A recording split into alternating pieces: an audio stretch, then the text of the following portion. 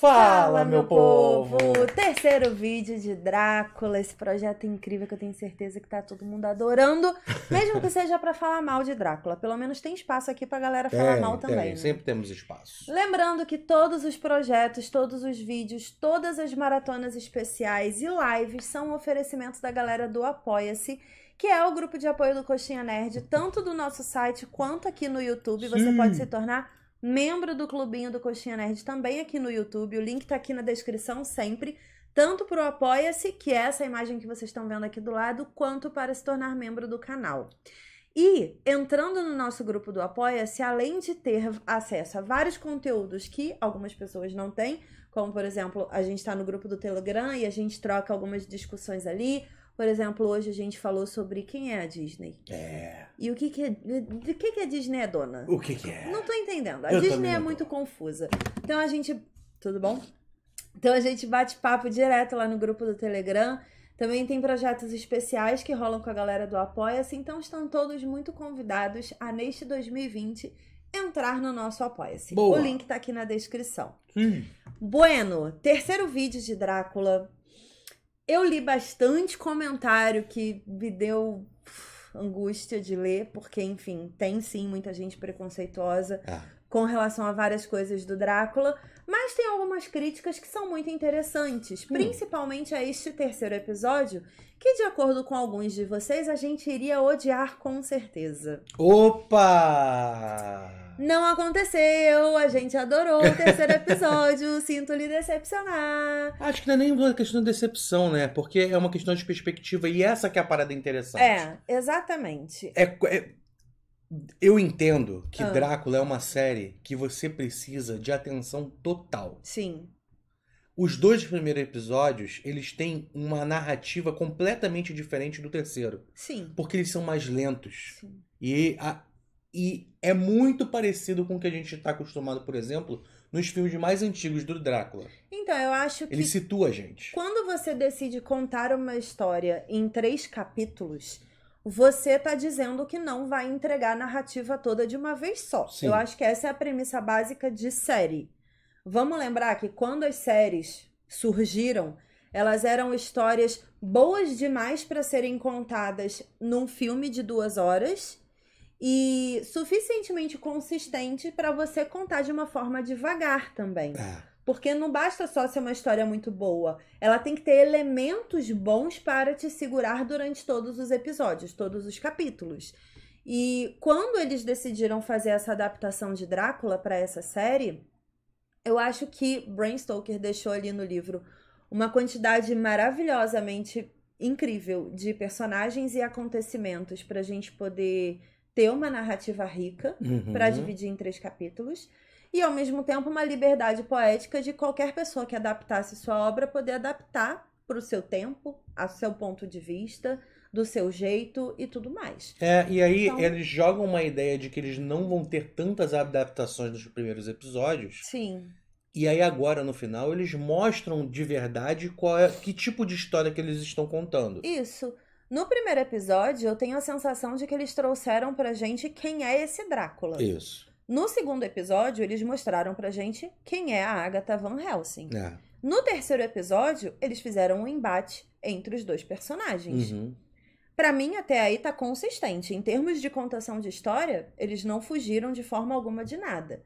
A personagem Lucy é uma personagem tradicional nas histórias do Drácula. É isso, eu não tinha percebido. Ela eu é nunca uma tinha personagem percebido. icônica, assim. Ela sempre é uma mulher seduzida pela vida dos vampiros, seduzida pelo, pela, pelo ambiente sexualizado que os vampiros vivem. Já temos Lucy em diversas histórias de Drácula. Se você procurar filmes antigos de Drácula, sempre tem uma Lucy ali falando: Eu sou a Lucy. É. E ela é sempre assim, ela oferece o corpo dela, ela sente prazer, ela é seduzida realmente pelo beijo do vampiro sempre. E ela não é seduzida do tipo uma donzela indefesa. Ela tem Ela quer. consciência Aham. do que está acontecendo com ela e ela ama aquilo que está acontecendo É, com a ela. consciência dela é tão sedutora que ela tem controle sobre a Exato. vontade do próprio Drácula. Exato, e isso sempre aconteceu em todas as histórias de Drácula. Então, se você acha que ela é um elemento pipa solta ali que foi deixado nesse terceiro episódio, leia o livro do Drácula, veja os filmes originais do Drácula. Essa Lucy, trazida agora como uma mulher negra, sedutora, belíssima, que sabe que é linda, que todo mundo olha para ela o tempo todo, uma mulher que exala sexo, sabe? Aonde ela está, ela gera excitações, assim, por ela, pela presença dela.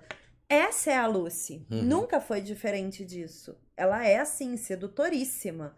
E eu achei belíssimo trazer essa menina jovem, afinal de contas, a gente tá falando ali de século XXI já. Então ela é jovem, bonita, usa brilhos e ela usa a mesma maquiagem que eu usei no negócio aí de desalma. Eu achei incrível. As pedrinhas coladas aqui, assim. Isso, e ela brinca sobre a morte de uma forma muito consciente, sabe? Eu É. achei isso muito digno da personagem. Ela fala sobre ser linda, ela fala, tipo, é incrível ser linda, sabe? É- é- todo mundo sorri pra mim. Não existe um mundo feio pra quem é linda.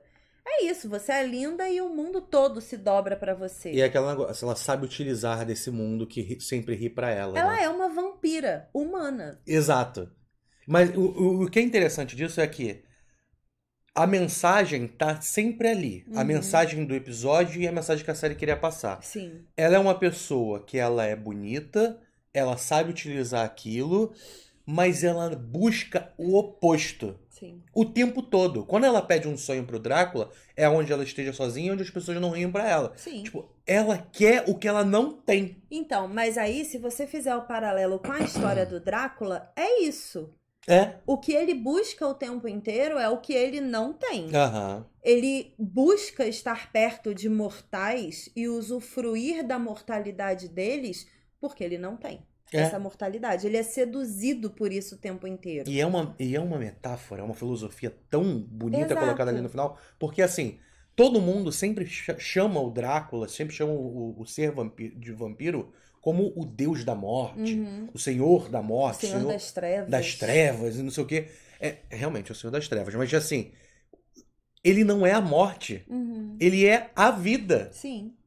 Ele é a vida eterna, né? E o quanto isso é negativo, né? Tudo que ele quer é morrer. E é muito legal a gente ver o paralelo da cruz, por exemplo, porque Jesus Cristo, que é considerado, enfim, o homem santo que veio à Terra para dar à humanidade o tom que a humanidade precisava para seguir em paz com uma doutrina, com uma visão religiosa e tudo mais, era finita a existência É. dele. Ele veio, ele é adorado, ele é admirado, ele é enaltecido, ele é o salvador e ele era mortal. Ele não precisou ser um deus imortal, intocável, inquebrável, inalcançável para ser um deus de fato. É. E o Drácula, ele é um deus, de acordo com os adoradores, né? Porque quando eles vão lá, eles são servos de Drácula, então ele é, É, o um... advogado trata ele como um mestre. Exato, ele é... O, o senhor das trevas. Exato, ele é Tipo, considerado um todo-poderoso dono da verdade e de tudo mais, mas ele não gerencia a própria vida. é. Então isso é muito irônico, assim. Foi um episódio irônico sobre o Drácula de Bram Stoker. Não foi para quem buscava uma adaptação fiel e que honrasse o que Bram, é, o que estava no livro. Não é. É uma outra história. É uma outra história que ironiza e satiriza muitos dos elementos originais do Drácula. Aham. Eu achei isso um ponto de vista sensacional. Pra quem olhava a história de vampiro e ficava tipo, gente, sempre esse clichê, sempre essa mesma coisa e tudo mais.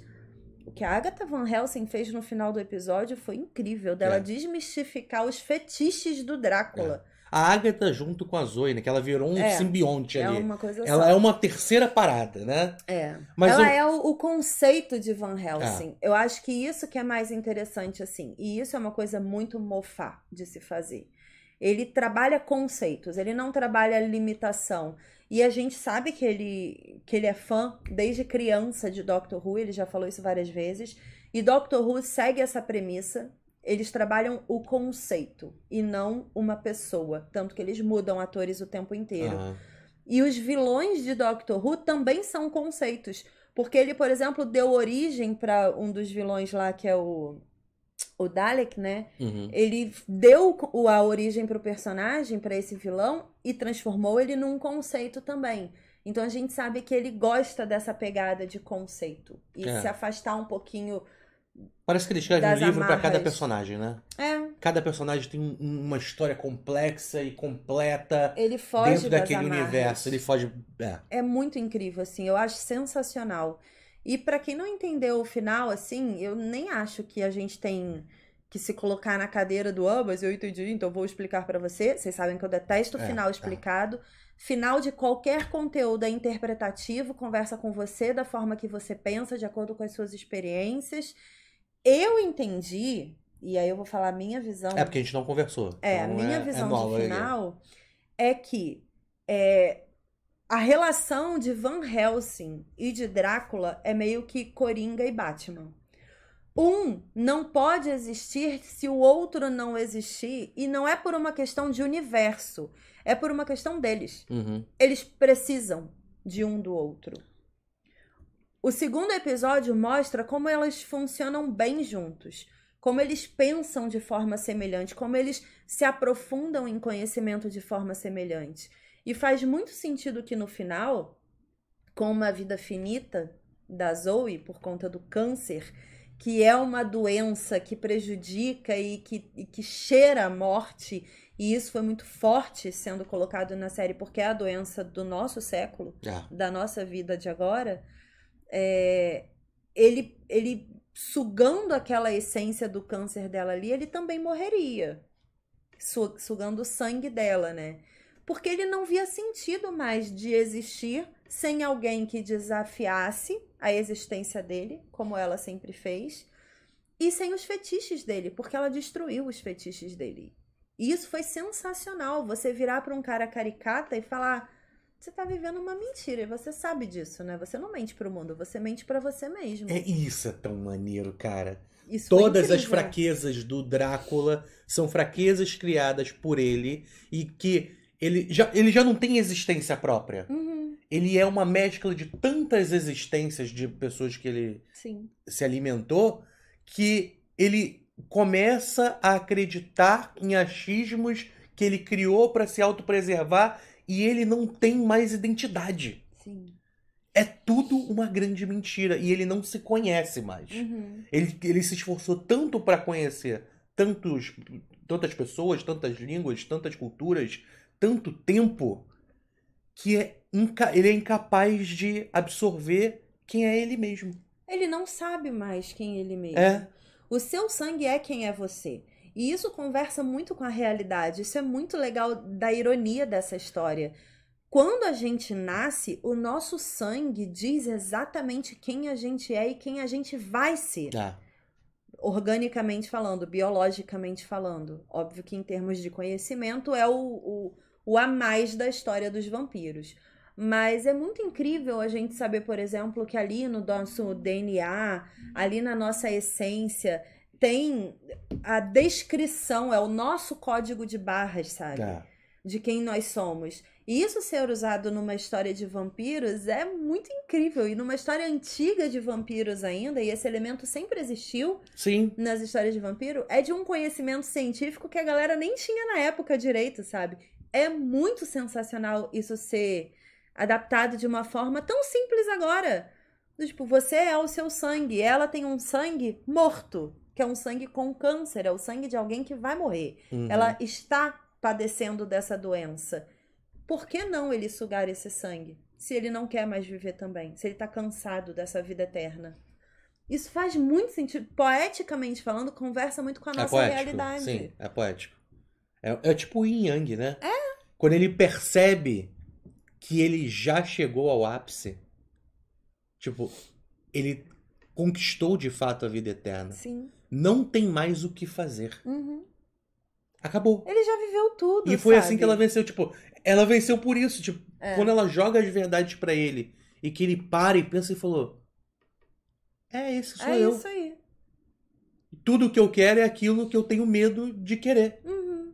Mas isso é a questão, por exemplo, quando você pega personagens como elfos, que vivem muito tempo. A, a nossa vida, a vida do ser humano, é muito curta Ah, comparada com esses seres mitológicos aí fantasiosos. Eles são realmente personagens criados por seres humanos para que eles contestem a nossa finitude. ah. Eles existem para a gente entender como a gente vive pouco, para a gente entender como a gente tem que ser realmente pleno na nossa existência. O Drácula não existe pra gente admirar um, um vampiro. E é por isso que me surpreende muitas pessoas ficarem tipo, mas esse não é o Drácula. Ele não existe o Drácula para início de conversa. É. Então, você não tem uma referência histórica pra dizer que esse Drácula tá errado. É. E é genial você utilizar uma história e todos os pontos dessa história é toda história contada é uma história contada por pessoas que às vezes omitiram, que às vezes mentiram, alteraram alguns fatos. Aumenta um ponto. É, e, e ela é tão. O Drácula mesmo fala, né? As crenças são tão passadas de pessoas para pessoas, são tantas pessoas, que ela se deturpa e se esmiuça e O se transforma inteiro. o tempo inteiro. Sim. É incrível quando ele volta depois de 123 anos no caixão lá na água e, e ele vê a câmera, ele fala assim: olha uma câmera. Aí ela fala: Você conhece a câmera? Ele fala: Gente, eu vivo desde o século XV.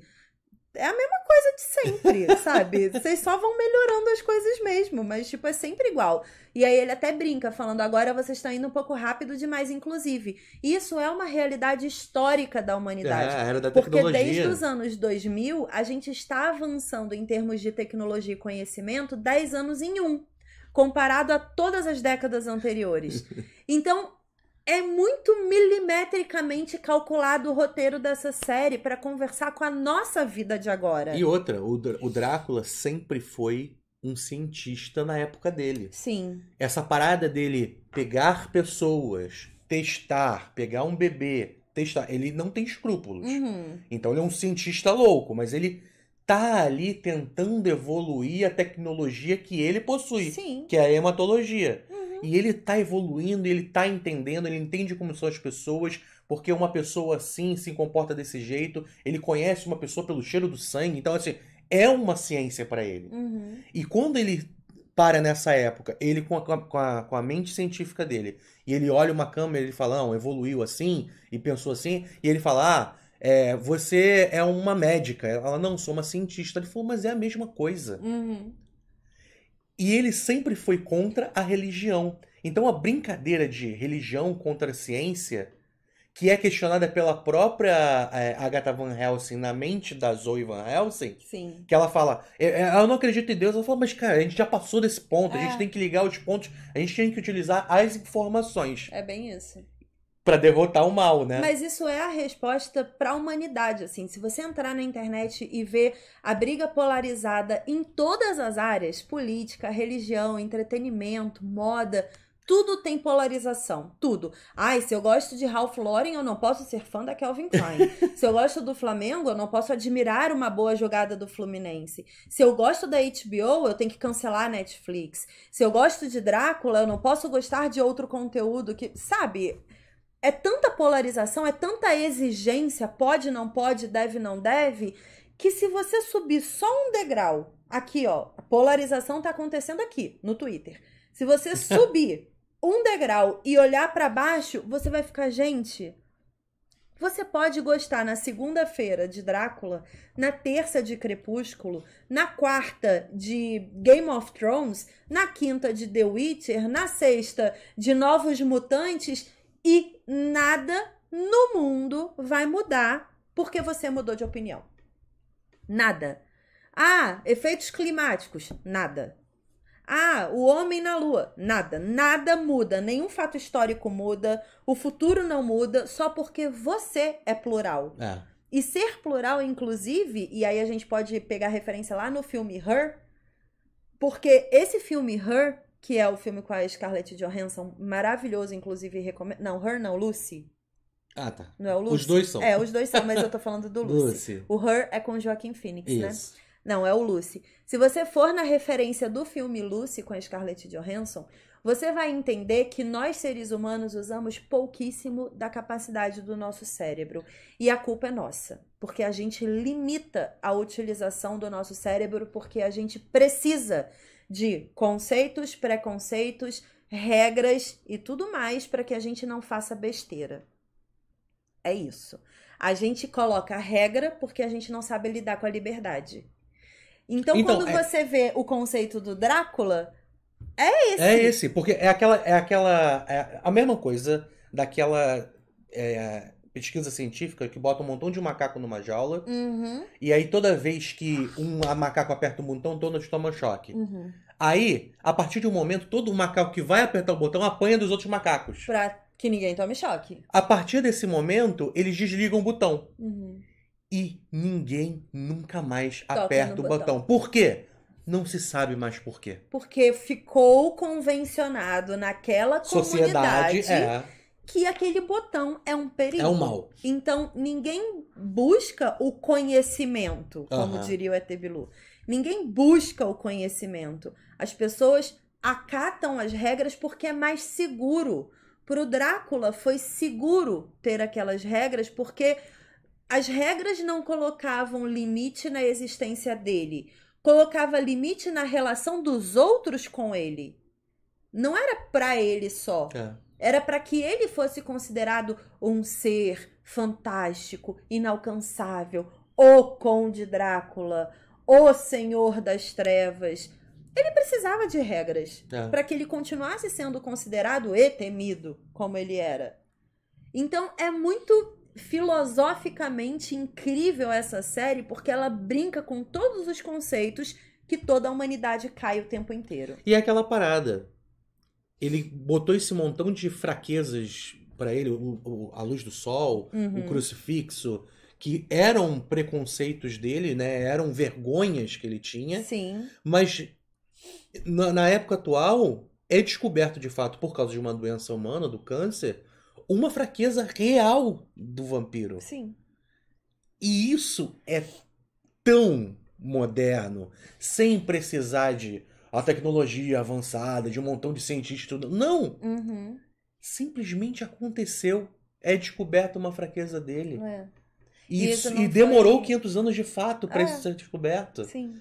Cara, é muito legal. É muito legal, muito legal. assim. Eu acho que realmente esse Drácula dessa série, é, por mais que ela tenha sido baseada no Drácula de Bram Stoker, não é uma série que é pra todo mundo mesmo. Não. E eu não tô falando isso de forma depreciativa. Ela não é pra todo mundo porque não é todo mundo que curte esse formato de contação de história. E eu entendo isso. E não é porque eu gostei que eu tô falando isso, porque, por exemplo, vou dar aqui o exemplo oposto. Fleabag é uma das séries mais elogiadas pela crítica. É uma das séries que a galera enaltece muito em fandom mesmo. Existe um fandom forte sobre a Phoebe Waller-Bridge, sobre a série, sobre a mensagem da série, sobre tudo que ela fala, sobre o tipo de humor que ela tem. Ela não conversa comigo. Isso não significa que eu sou inferior aos que gostam da série ou superior aos que gostam da série. Só é uma série que não conversa comigo. E eu acho que cada vez mais a gente tem que se soltar dessas amarras que fazem com que a gente precise se colocar num patamar superior ou inferior ao outro. Por que, que a gente só não vive todo mundo no mesmo patamar, cada um na sua bolha, cada um gostando do que gosta, do que não gosta, com a liberdade de fluir entre outras bolhas? Por que não? É? Porque se o Drácula tivesse feito isso, ele não teria sofrido pela existência dele. Foi isso que a Agatha falou pra ele. Você sofre com quem você é. É. Isso não é bom. Sabe? Você sofre um. É quase que uma depressão de 500 anos que ele vive. E isso não é bom pra ninguém, gente. Viver nessa tristeza de só eu não faço isso, só eu não gosto disso, só eu não sou assim. Não, você não tá sozinho no mundo. Para com esse negócio de só eu. Você não é o Drácula. Não existe isso. Então eu achei uma série muito filosoficamente boa pro momento que a gente vive, mas eu entendo que tem gente que só quer ligar um filme e assistir Assim como, um filme de Drácula sem pensar. assim não como quer. tinha também, tem um montão de gente que não gosta de Doctor Who. Exato. Que não é uma série que tem muita tecnologia, É. muitos efeitos. É normal É uma isso. série pra pensar. Você vê duas pessoas conversando E e, a troca reflete. de ideia delas é algo assim absurdamente É. impressionante para um número de pessoas. Agora aqui, fica a dica pra vocês que não curtiram essa série, que talvez não conheça o Drácula de Bram Stoker. Assiste o filme Drácula de É. Bram Stoker. Tem a Mina, tem a Lucy, tem o Drácula, tem o Johnny, tá todo mundo lá. Você vai ter ali as páginas do livro do jeito que você queria, traduzido ali do jeito que aquele autor quis traduzir também. Mas se você quiser o Drácula do Bram Stoker e não aceita mais nada na vida, leia o livro. E aí você vai ver de fato a história original e pronto, sabe? Cada um ama aí o que quer na vida e tá tudo bem. Eu curti bastante. É, teve um comentário no segundo vídeo dizendo que é uma minissérie, não é. É, lembra que é dos mesmos produtores de Sherlock. É uma produção feita com a Netflix e a BBC. Foi uma parceria de produção. A Netflix não tá só distribuindo. É, os criadores de Sherlock, eles fizeram aventuras espaçadas com o que já saiu de Sherlock. Eles pausaram, porque eles tinham outros projetos. E eles disseram que Sherlock não acabou. No momento que eles quiserem continuar contando histórias, eles vão contar. O Benedict Cumberbatch também tinha novos projetos e tudo mais. Então, eu acho que a gente vai entrar numa era daqui pra frente, porque estamos numa, entrando numa nova década, né? Ah, Ano que vem. ah, é. Por favor, senão 30 comentários falando que a década não começou ainda. É que a gente vai começar. É tanto conteúdo sendo feito todo ano que a gente tem a liberdade de ter mais tempo. Então, eu acho que isso trabalha a ansiedade do público de uma forma sensacional. Tá tudo assim. tranquilo agora. É. Ah, vai levar mais cinco anos pra fazer, não tem problema, porque durante esses cinco anos Eu vejo tem outras tanta coisas. coisa legal pra assistir É que não isso. faz a menor diferença. A HBO já tá fazendo isso, ela já tá espaçando, por exemplo, o Westworld teve ano retrasado, não teve ano passado, vai ter esse ano. Ela vai fazer isso com os spin-offs de Game of Thrones. A gente sabe que tem outros conteúdos que também fazem isso, tipo Stranger Things fez na Netflix agora na última temporada, espaçou um tempo. Eu acho bom, eu acho digno. The Away fez isso também por tempo de produção. Eu acho incrível quando é, a produtora ou o canal tem autoconsciência de falar, gente, eu preciso de dois anos pra produzir um negócio bom. Vocês querem um negócio bom um negócio bosta? E aí o público fala, bom, então espera, senta e espera. Eu acho que esse início é mais agressivo e mais sensível pro público, porque, enfim, a gente quer o nosso conteúdo sempre. Mas a longo prazo é uma questão de costume, assim, a gente vai se entender com É. o entretenimento se adaptando também. Drácula não é uma série de efeitos visuais, assim como Doctor Who. Mas quem conta essa história conta tão bem que se você não for o tipo de pessoa que para de fato pra assistir, você não gosta. Exato. Então tá de boa. Tá de A boa. gente curtiu bastante. Espero que vocês tenham gostado de mais um projeto de um vídeo por episódio aqui no canal. Eu vou deixar os links do primeiro e do segundo vídeo sobre o primeiro e o segundo episódio de Drácula aqui na descrição. Pra galera que quer assistir os vídeos de Anne with Annie, hoje mesmo retorna o sexto episódio aqui pra vocês. Vai ter mais vídeo nos próximos dias também. E a gente espera você hoje às 20 horas no Plantão Nerd aqui no canal. Boa! Beijo! E até a próxima, até o próximo projeto. Tchau! Show!